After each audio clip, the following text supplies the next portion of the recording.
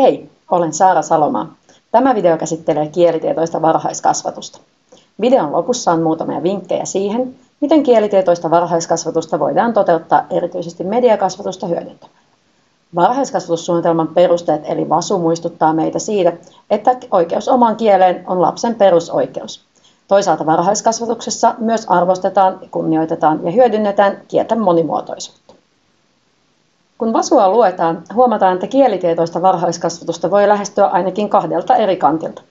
Ensimmäisenä on ammattilaisten oma tietoisuus. On tärkeää tiedostaa se, miksi tätä työtä ylipäätään tehdään. Tulee ymmärtää, miksi kielitietoisuus on tärkeää, eli kuinka tärkeä osa kielellä on lapsen oman kehityksen, kasvun ja oppimisen kannalta, mutta myös sen kannalta, miten lapsi pystyy olemaan vuorovaikutuksessa muihin ja miten hän liittyy yhteiskuntaan ja omaan yhteisöönsä.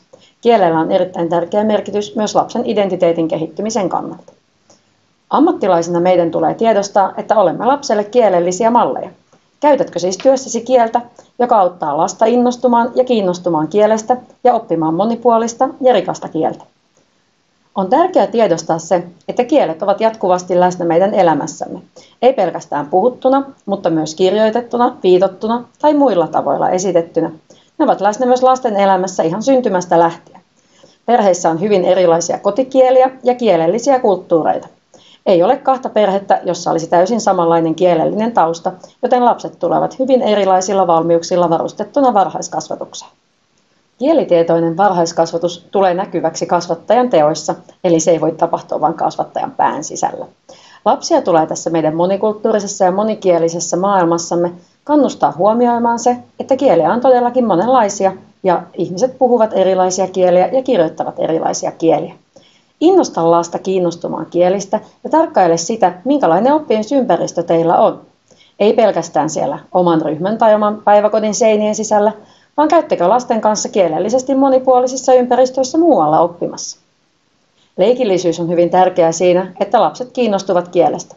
Ei ole niin tärkeää, meneekö kaikki aina täysin oikein, kunhan kaikilla on hauskaa ja lapsilla on aikaa ja mahdollisuuksia kokeilla eri tavalla kielen käyttämistä. Sitten vinkkejä kielellisen tietoisuuden rikastamiseen. Muista vanhat hyvät keinot.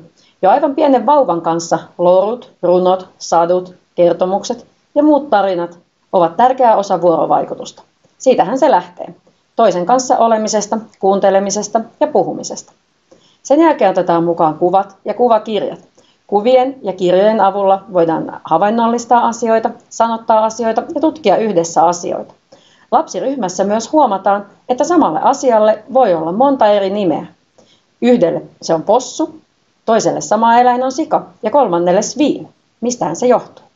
Mediassa näkyvät sanat, kuvat ja suosikkihahmot ovat omiaan innostamaan lasta kielellisten viestien pariin.